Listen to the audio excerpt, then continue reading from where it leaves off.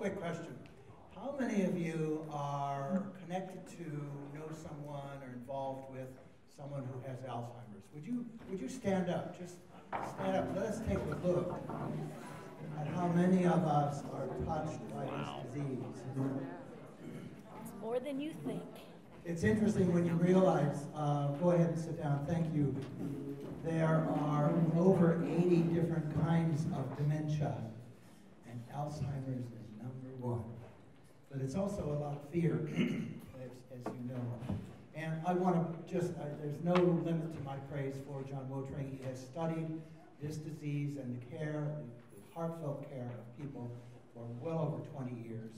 And uh, my mom was in his care for a, a, number of years. I'm so, so pleased to introduce John Wotring of Primrose. Thank you, Jim. Any chance we could dim in the front so you can see? You're going to want to see what I have there. There, perfect. Perfect person. Well, good morning, Section on Aging. It's been a while since I've been here, and boy, you guys have changed. You've grown lungs. What great singers. Somebody at my table said, Whoa, I hate to follow that. I'm like, Yeah. Certainly do. Um, I have a lot of material. It's a basically an eight hour training that Chance said I have 40 minutes for, and Sheila said I have 20 minutes for. And so I whittled it down. I whittled it down. So some of the slides, if you need a copy of the slide presentation, I can email it to you when we're done. All right. This is my inspiration. That's Maxine. You know Maxine? Yeah. A really ornery grandmother who's very cynical. She represents my grandmother and my inspiration for being an Alzheimer's care. Like Chance's mom was there, so is my grandmother. And I've dedicated the last 20 years of my life to taking care of her and people like her. We have a nonprofit that gathers research. So when I bring you information today up here, it's based on studies. If you need copies of those studies, I'll let you know. What is dementia? Dementia is not Alzheimer's disease. Dementia is a group of symptoms. It literally, Latin means you're out of your mind. If you have a problem with your memory and just your memory, do you have Alzheimer's? No. Maybe not. Are you demented? Uh-uh. If it's just memory loss, you have one cognitive loss, you're said to have MCI. When I was a kid, that was a phone company. 10, 10, 220, save 10 cents a minute. we get a, um, a lot of medical conditions can resemble somebody having dementia, which is two or more primary losses. Okay, so let's say you have a problem with judgment and memory, then you're demented. But there are some medical things that can mask that. Oftentimes we'll have people with urinary tract infection who will present very demented and they're really not quite there yet. Or they're dehydrated. It's a problem with the elderly. Senile. Anybody know what senile means? Clinicians in the room? I've asked a lot of people that over the years. They said, oh, that means you're crazy. my grandmother on my mother's side was diagnosed as being old and senile. Senile is a benchmark of age It means you're 65 years or older. How many people in this room are senile? I'm, I'm not I'm saying. Not, I'm not there yet, but I'm working on it. Because of its prevalency of memory loss, people liken senile to being old. It's not. Four leading causes of dementia. Now, there's tons of them out there, but these are the leading ones. Alzheimer's, Parkinson's, Lewy body dementia. It's up and coming, unfortunately. It's a really bad one associated with Parkinson's disease and vascular dementia. Those are the big ones. But Chance is absolutely right. Number one, most common, 78% of all causes of dementia out there, Alzheimer's is number one with about 78%. It's a lot. It's a lot. Currently, 5.1 million people in the United States with Alzheimer's disease. That's just the US. It's a lot of confused people. By 2040, they say the number is going to go to 14 million unless we have some sort of major intervention. This is the hardest thing for me to consider. Only one in four are diagnosed. One in four. It's not enough. I don't know how many people who come to me and they have a diagnosis where the doctor writes on their dementia. Well, yeah, I know that. We want to know why. How can we help them?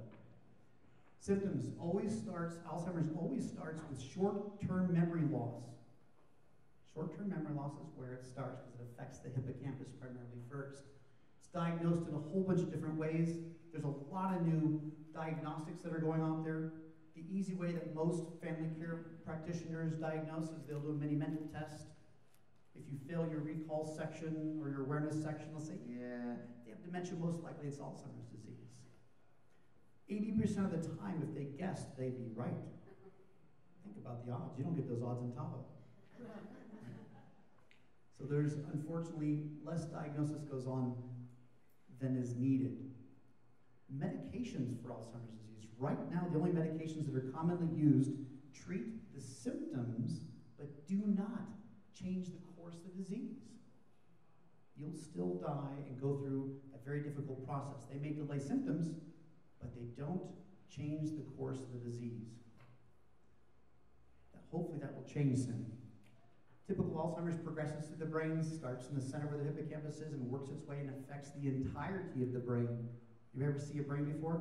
Touch it, poke it, squishy, like a, soft grapefruit.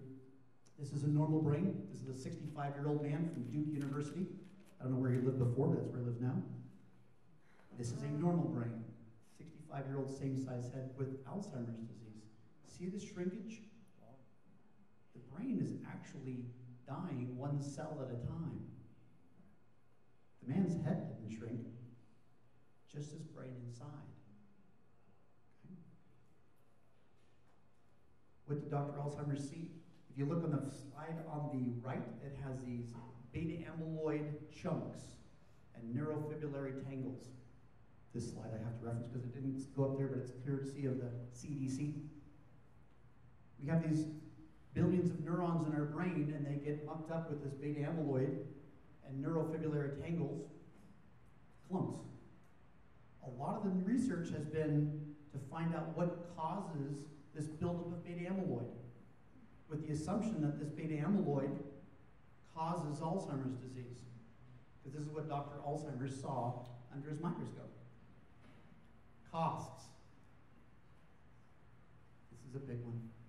Alzheimer's care will cost providers $226 billion in 2015. More than halfway there. Taxpayers are currently paying 68%, which is all of us. It's Medicare dollars. 16 million families and friends provide 18 billion hours of unpaid care. That's astounding. Just astounding. American businesses also suffered 33.16 billion. That's last year's number. And that's really from caregivers who also have somebody at home with Alzheimer's disease taking off work to care for them. The costs are real. The scary thing is by 2050, they're looking at a cost of $1.1 trillion. Think about how much money that is. I know our government counts money in trillions. I certainly don't. I don't even count in millions or billions yet, but I'm working on it. Risk factors. This is what you guys want to know. Age is number one. That's why senile is important. Right? Over 65, one in nine. Over 75, one in five. Over 85, it's actually one in 0.47. It's one in two, basically, because you can't divide a person. But half of everybody over 85 of the population who has Alzheimer's now will have also will, will be demented and have Alzheimer's disease. All right? How many people in here know at least two people over 85? Yeah. Statistics would say you know at least one of them has dementia or will. People know people over 65? Quite a bit. If you know 10 or more, one of them has Alzheimer's disease. The scariest thing I'm most concerned about, selfishly, because of my family, is when I get there. Because the baby boomers don't have good odds. For baby boomers, the, the projections at this point is one in three will have dementia. How many baby boomers in the room? Raise your hand. And sorry. no, the, the, the good thing is there's a lot of research and there's a lot of hope. But the generation we're caring for now that has Alzheimer's disease and has dementia had a very different lifestyle than all you baby boomers out there. You guys grew up with fast food. Yep. You guys perfected it. And the dishwasher. And a, a lot of modern conveniences that gave you a very different and much easier lifestyle than the, your previous generation. Had more downtime, more free time, and you guys experimented with some wacky medications in the 60s and 70s. I guarantee your parents didn't sit there and drop acid. Right? It's a theory, but it is what? It is what? And one of the potential brain injuries that they're liking the increase in risk for Alzheimer's disease for the baby boomer generations. They don't know for sure. They know it's more prevalent. They're working on the whys. Okay? So risk factor, APOE4, genetics. A lot, again, a lot of this is review for you guys, so I'll make it quick. There's a gene called APOE3 and APOE4. APOE3 is good, APOE4 is bad. Bad because it increases your risk. A lot like cholesterol does for heart disease, APOE4 does for Alzheimer's disease. Now you go get a test for cholesterol, and you can take a statin drug, or you can exercise, or watch what you eat and make a difference. How big an increase in risk is it? Doesn't mean you're going to get Alzheimer's disease if you have APO4 on one of your chromosomes, or even two of your chromosomes, but your chances go up. If you're female and you have APO4 genome marker on one chromosome, 400% increase in risk. That's a big increase. If you have it on both your chromosomes, you have a 1,200% increase in risk. Now, of all the cases of Alzheimer's disease out there, less than 10% are familial, they call familial or genetic. So it doesn't mean you're going to have Alzheimer's. It just means your risk is higher. My family, my inspiration, my grandmother who had Alzheimer's disease, inspires me to want to solve this one and soon before I get there. Diabetes. There's a relationship with diabetes and Alzheimer's disease. They know that people who crave sweets have a higher propensity to have Alzheimer's disease. It's because you're trying to compensate, so you have more sugar, so you get that. Or is it causal? They don't know yet, but they know there's a relationship. But they do know that there's a, there's a causal relationship with diabetes and Alzheimer's disease. Okay? There's a cardiovascular incidence in stroke and lack of oxygen to the brain. So if anyone has drowned, your chances of getting Alzheimer's disease go up about 200%. It's a tough one. Or had a heart attack, or had a stroke. My grandfather had his first stroke at 78 years old. My aunt, who is the head epidemiologist for the CDC, did his autopsy and found that his brain was also riddled with Alzheimer's disease. He had both. Brain injury is an interesting one. I think about the football players, I think about car accidents. Every time I see a car accident, I think, whoo, did anybody, were they knocked out for more than five minutes? Your increase of Alzheimer's disease goes way up, 400%. Obesity. There's, there's a very fascinating study where a university measured people around their barrel as a predictor for Alzheimer's disease. And there is a correlation. The Wow. larger you are, the higher your risk. But they had a range. So they took a lot of people that were in the risk zone, put them on a crash course diet, shrank their bodies. It did not change their risk. Hmm. Lifestyle and how it affects Alzheimer's disease isn't a crash thing. It's a long-term lifestyle. Okay?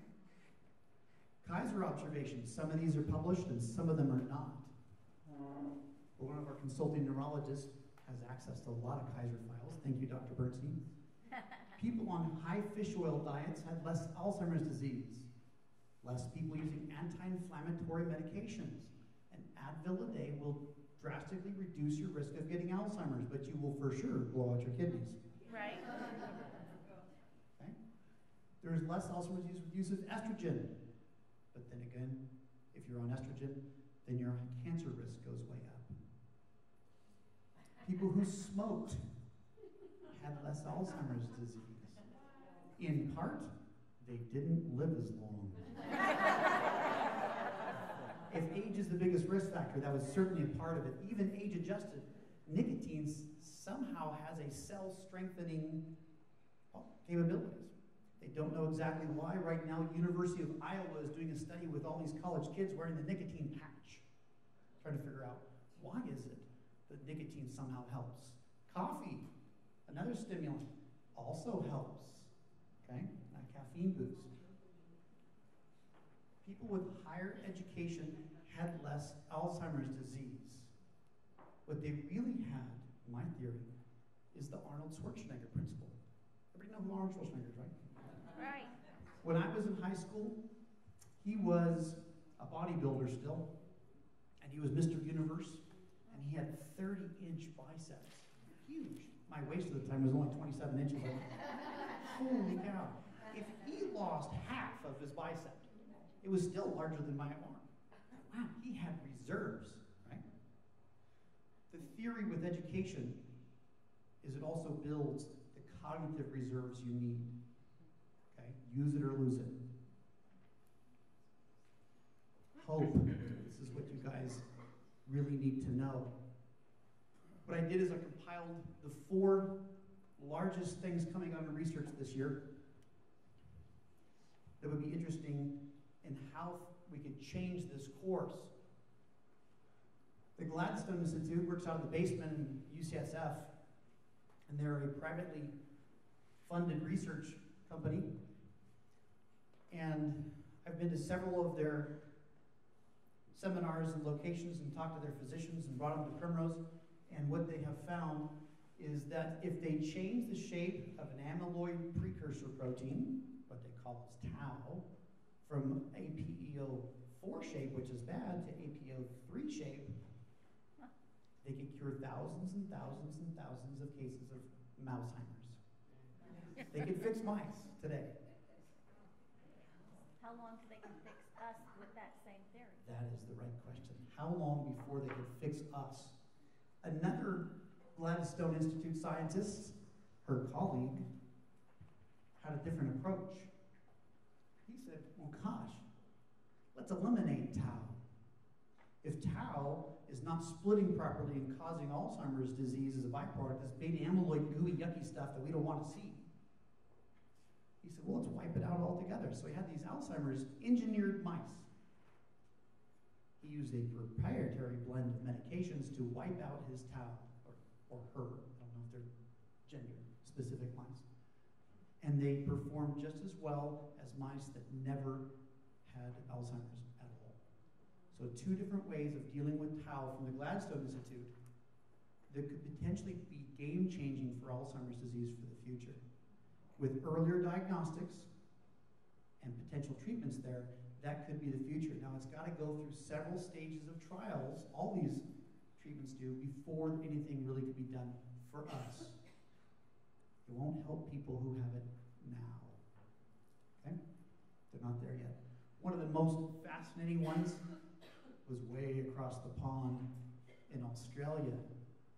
This is a fascinating study. The Queensland Brain Institute uses sonic waves.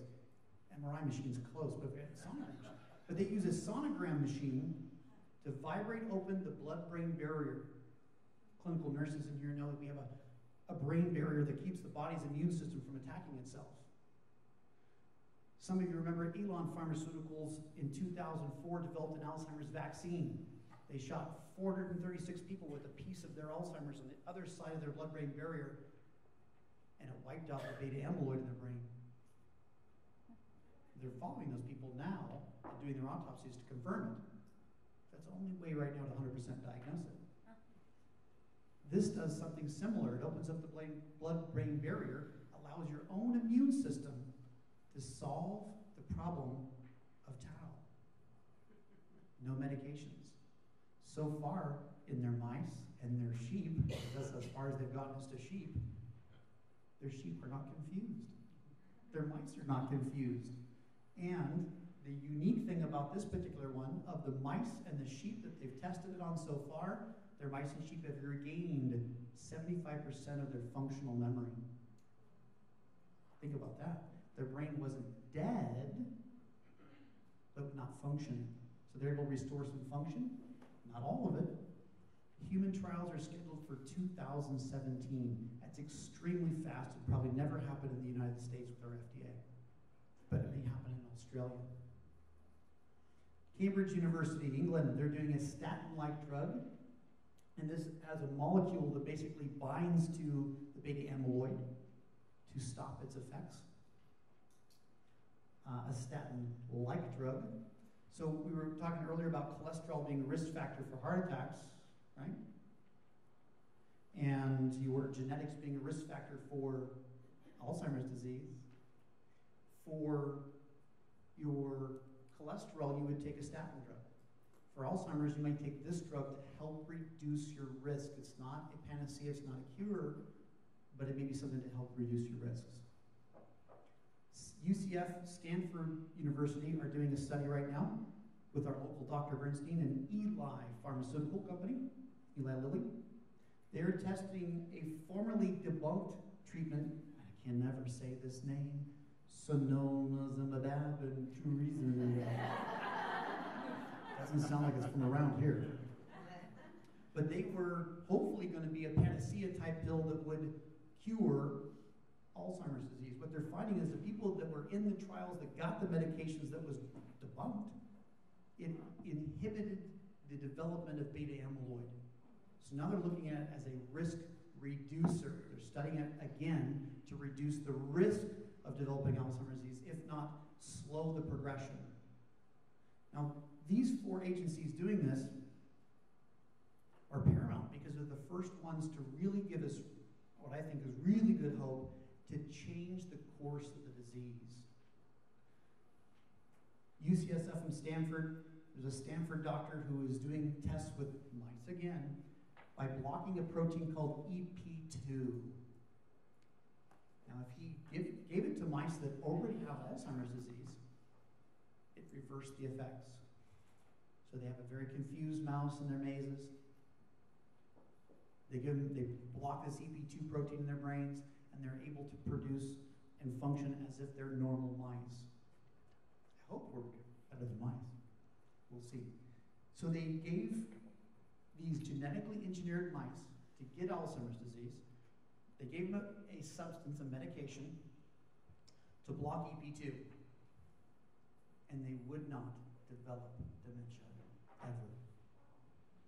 They're engineered to get it,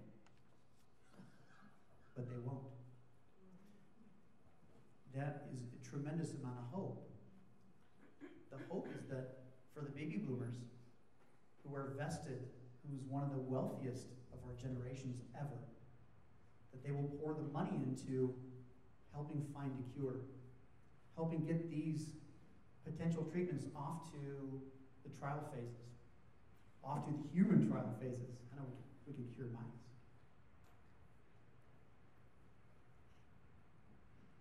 if you don't like medications and treatment, there is lifestyle that will help delay the onset of Alzheimer's disease. I played a lot of sports growing up, and we're all born, as my coach says, with a certain amount of uh, well, coordination. I didn't have a lot. but you could enhance your coordination with practice we talked about the Arnold Schwarzenegger principle, and he talked about building that cognitive reserve. This is accumulation of research of how to do that. Alzheimer's Association funded a study that exercise at least 20 minutes a day, five days a week, but no more than 40 minutes at a time, five days a week, will help. Diet, high in folic acid, low HGI is a hypoglycemic index. That's how fast foods turn to sugar. Avoid processed foods, saturated fats. You want to eat olive oil, high in omega 3s. Avoid cholesterol, high in antioxidants. Especially pseudolycopenes. Pseudolycopenes is the thing in food that provides color. Makes your blueberries blue, your acai berries purple. Okay? They're really, really good for you because they fight against free radicals. Low sodium diet and fasting. This is a relatively new one, but they say eat all your meals within 13 hours.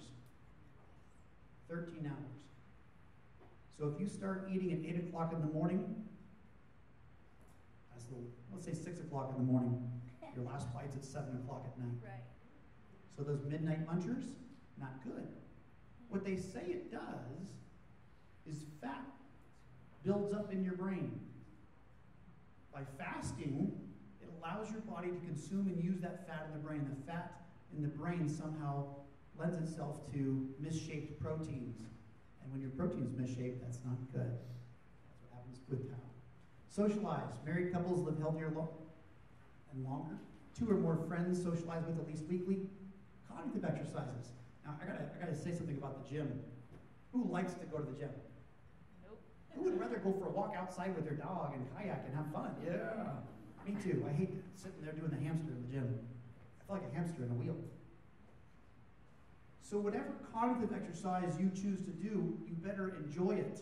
I'll play racquetball for eight hours, but I don't want to lift weights or do the, the, the treadmill. No way. So as you look at this list, think about the things that you like to do that are challenging for your brain. The number one for women after 55 is learning a foreign language. Hard to do. Hard to do. It's not retaking French you took in high school either. Stress reduction, find your coping skills, meditation, exercise, music therapy, retail therapy. My mom loves this one. this is not buying things and the satisfaction you get or the buyer's remorse you get from buying something too big. The retail therapy, they found that actually going out shopping itself reduces stress. Not for me. Retail therapy. Again, pick the stress relief that works best for you and get enough sleep. All right, this is back to Maxine. This is my grandma. If I had nickels for every time I misplaced my car keys, there'd also be a jar of money I'd have to also look for. the one thing I would implore you guys to do is to fund research. And I want to take a moment and, and bring up Lauren to talk about the Alzheimer's Memory Walk just for a minute. She didn't know I was going to call her up here. And our services. And her services. The Alzheimer's Association services. Yes. Hi, everyone. Um, I'm Lauren Hibden. I'm the Family Care Specialist at the Alzheimer's Association. And I know when you guys stood up, about half of you said that you have a connection to the disease. And those of you that don't, after listening to John's talk, it's pretty clear that we were either going to have Alzheimer's ourselves, care for someone, or pay for the care. So um, the biggest thing I think you can do, like John said, is to um, give money toward research. The one thing that stands in the way of research is money, and number two is people to participate in clinical trials. So we have a clinical trial matching program for folks with a diagnosis, a family connection, healthy caregivers, healthy individuals. Um, they will go out and do the legwork for you and find out what clinical trials are in the area. So if you're interested in clinical trials, that's one way to support. Um, and um, we, what we do at uh, the Alzheimer's Association um, is care and support. Uh, while we are looking for a cure, um, we are helping families and those with the diagnosis to um, deal with this journey. So we have many support groups. We do care planning um, and care consultations, and we have um, just a lot of services not only for the family but also for the person with the diagnosis. So if you don't know that we exist, then um, take a rack card and do a little research on our website or come and uh, meet with. So, all right. We have some questions. Do we have any questions for John or Lauren? Yes, I have a couple. Hey, John, um, I have two questions. One, how many types of dementia? Somebody said there were like over seventy. Um, types, I would say causes. What are the things that can cause dementia, I'd say there's a lot more than 70. There's probably hundreds of reasons why you could be out of your mind, where you, your judgment could be impaired. You could have psychosis. You could be clinically depressed. You could do all kinds of things will change your brain. Your brain's a bunch of big bag of chemicals. The chemicals are off. It's not going to work right. There's a lot of different causes. The other question is, um, somebody had mentioned that it's in your system like years before it presents. Is that true or no? Um, for Alzheimer's disease specifically, about 10 years ago, they said, well, gosh, we think it's forming in the brain. Your brain, brain's degrading at least four years before you notice any symptoms. Now they're saying more like 15 years before you notice you have any symptoms, which is why funding the Alzheimer's Association for Research is so important because we really need early diagnosis. We really need early diagnosis. Good question.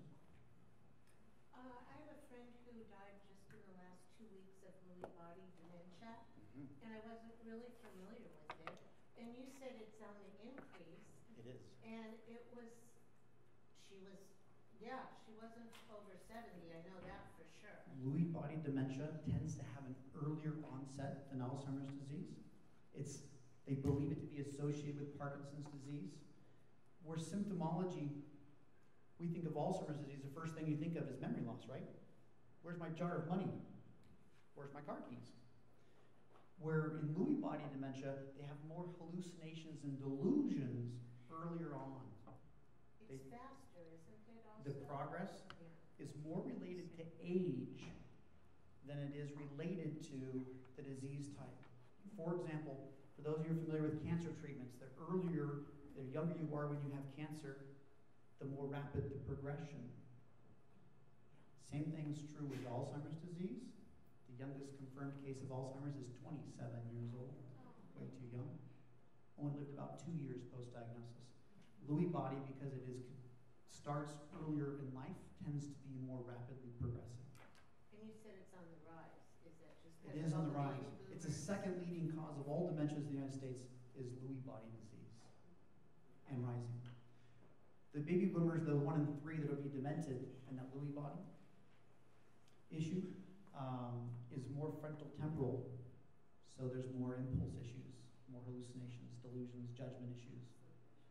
Yeah, sleep, insomnia.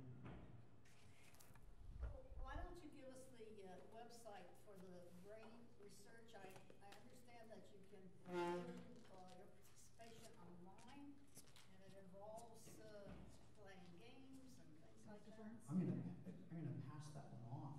Um, I don't know the website. No? Uh, Chance does, I think. We just left. Well, I know part of it is brain research, Sure. and, uh, There, uh, there is hundreds of websites, um, but the best one to probably go to is the Alzheimer's Association, because they will, what they'll have is they'll have a whole bunch of different links and different trials that are going on. this The- one excites me because, because I can participate online, I don't have to go somewhere and that kind of thing. Um, I'm actually a member of the Trial Match program, and what they had for me was online, like memory test to get a baseline. So what they had me look at was a deck of cards, and then after they said, "Have you seen this one before?" Um, and so it was online, um, so it's not very invasive, but it was a clinical trial to kind of uh, for healthy individuals. And you so said, you said yes, right? I did not score as highly as I thought I would, but um, It's so yeah, you important to can- get a whole pool of participants, particularly the baby boomers. Absolutely, yeah. So you can um, go on our website or you can um, call and they can match you up with clinical trials. And you can tell them how invasive you want it to have it be. Less invasive, the better. John, just one more question. Any other questions? More questions? Um, my question is about educating the doctors. I, I, I'm new to this industry, so I'm not pretending that I have any answers, but what keeps coming up for me in all my talkings with everybody around is the doctors need to know to start doing some cognitive tests early. So how do you get to those ivory towers? Money. Yeah. It, what it boils down to and why so many people with Alzheimer's disease have a dementia diagnosis and not an Alzheimer's diagnosis is because of money. Your HMO is not going to pay for a PET scan, an enzyme test, or the modified MRI. You have to be involved in a research project that's funded by a drug company to be able to afford to do the extensive testing that's needed. When they could do a, an MMSE, mini mental state exam, and be eighty percent sure, they don't see the cost benefit of doing all the further research. That's why it's really important to do the Alzheimer's Association's trial match program and get involved. I gotta tell you, it's a little bit of a scary thing to go be tested. First time I took the mini mental state exam, I thought, oh my gosh, am I gonna pass? It was harder than I thought. What floor am I on? I'm in between. You know, it, it, it, diagnosis is really important, and it's a matter of funding. If you have enough money, your doctor will do what you want. Good question. Thank you.